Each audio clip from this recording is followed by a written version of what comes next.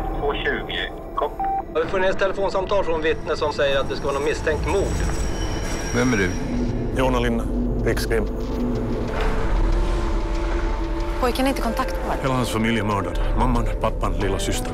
Han är den enda som är vid liv. Han är den enda som kan ge oss en ledtråd om vem som har gjort det. Det kan finnas ett sätt. Behandling av akut trauma. Erik är bäst på området. Det går inte att nå honom. Hypnos. Du vet att jag inte får. Det är vår enda möjlighet. Fungerar inte som du tror. Man kommer bara åt hans sanning. Hans egna subjektiva minnen. finns alltid en risk att jag påverkar dem. Om du kan höra mig så tryck min hand. Josef, vad händer? Jag tror att det här är ett planerat seriemord. Du kan ha rätt. Det innebär inte att du alltid har rätt. Pappa, har du någon gång hypnotiserat mig? Jag har inte använt hypnos på dig. Jag vill ta en paus. Ta en paus ifrån... Från oss, från dig och mig.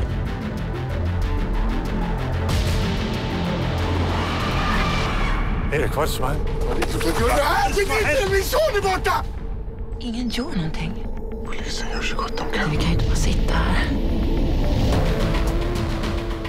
Hade jag inte använt hypnos på den här pojken så hade han... hade aldrig det här hänt. Du måste komma ihåg. Hjälp mig. Jag kanske så. Frågade om jag hade någon fiende. Det finns en.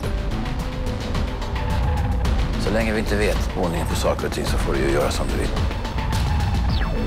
måste fortsätta.